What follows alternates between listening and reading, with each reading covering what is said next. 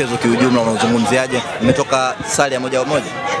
Ah, kwanza tunashukuru Mungu tume, tumecheza mechi salama, tumeweza kumaliza salama na matokeo kama tulivyotokea moja moja, ni jambo la kushukuru lakini kwamba tumekuja hapa tumekuja kupambana katika, katika mchezo wa ligi kuu, lakini kwamba Azam nayo timu nzuri, timu nzuri. Kwa hiyo sisi Simba nao wazuri zaidi ya, zaidi ya Azam, lakini tumeweza kukutana, tumecheza mechi ilikuwa nzuri, lakini ilikuwa haina tension sana, lakini ilikuwa nzuri na tumeweza kucheza. Mungu tume, tunashukuru Mungu kwamba tumepata matokeo moja kwa moja, basi tunashukuru Mungu.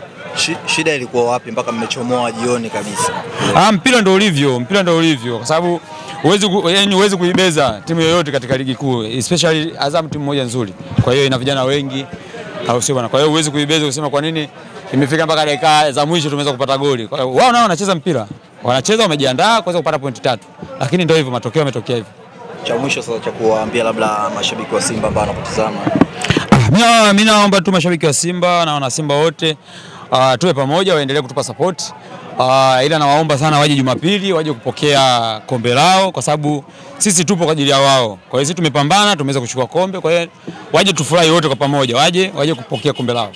Shukrani. Asante sana.